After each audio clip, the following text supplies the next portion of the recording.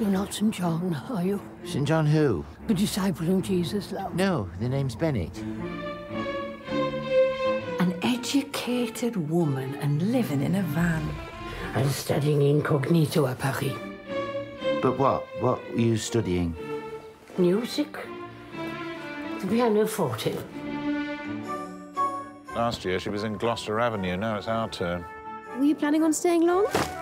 Mr. Bennett, the ideal would be off-street parking.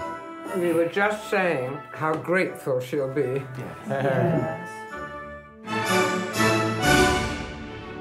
Put the van in your drive? Just till you sort yourself out. Merry Christmas! Shut the door! I'm a busy woman. I won a prize for painting.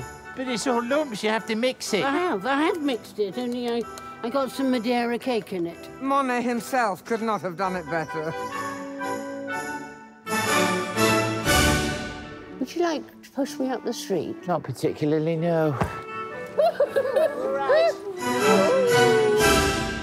Looking especially lovely today, sweetheart. Don't sweetheart me. I'm dying, possibly. Chin up, love. We all gotta go sometime.